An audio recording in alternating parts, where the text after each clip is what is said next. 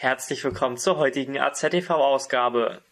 Im Kampf gegen die Masern setzt man im Landkreis Uelzen auf Aufklärung. Nach mehr als 500 Krankheitsfällen in Berlin und dem Tod eines an Masern erkrankten Kleinkindes ist bundesweit die Debatte um eine Impfpflicht neu entbrannt. Doch dazu sieht das Gesundheitsamt Uelzen-Lüchow-Dannenberg aktuell keine Notwendigkeit. Warum? Das lesen Sie morgen in Ihrer AZ. Der Aushub und bereits die gesetzten Fundamentsteine als Rahmen für die Bodenplatte lassen erahnen, welche Dimension das Projekt hat. In Oldenstadt nahe des Ortskerns entsteht derzeit ein Pflegeheim mit 86 Einzelbetten. Anfangs des kommenden Jahres soll es seinen Betrieb aufnehmen.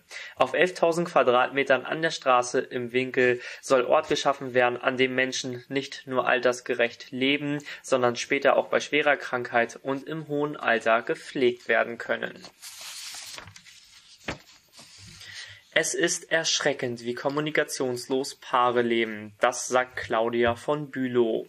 Die Leiterin der Uelzener Beratungsstelle Pro Familia gibt in ihren Partnerschaftsgesprächen Tipps, dass sich die Paare eine festen Zeit für ein Gespräch miteinander einrichten.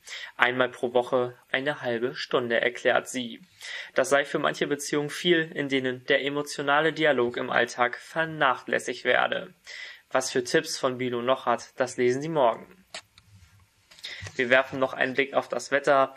Morgen wiederholt sich das Wetterspiel von heute. Morgens bekommen wir etwas Sonne ab, dann zieht es zu und ab Mittag könnte es zeitweise leicht regnen.